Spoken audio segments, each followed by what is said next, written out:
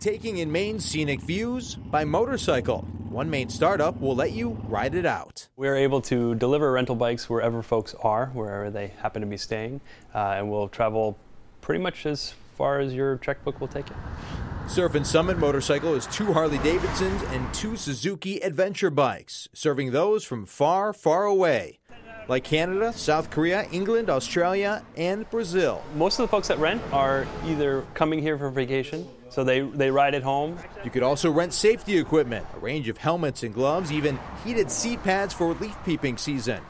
Stephen Saloy co operates the business inside Street Cycles in Falmouth, where he is still an employee.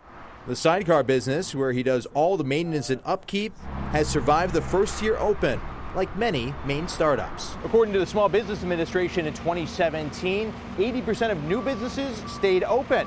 Kauffman Foundation statistics show that here in Maine, during the same time period, 88% of new businesses survived, the highest in the country. Which is an enormously high percentage rate. Um, and I think that's largely due to the set of support and resources that are available here in Maine. Some resources are free. Maine Small Business Development Centers is a federal program through the Small Business Administration. The primary reason businesses fail within that one to three to five year window is they run out of cash. On Monday, WalletHub released its 2019 Best and Worst States to Start a Business.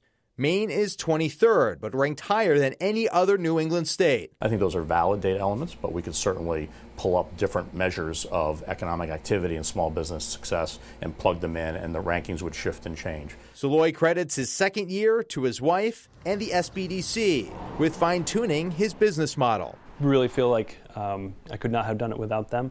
And without those who want to hit the open road. I'm Clay Gordon, News Center, Maine. And for other resources available to small business owners and a look at Maine's new Economic Development Strategic Planning Initiative, visit our website and our brand new mobile app.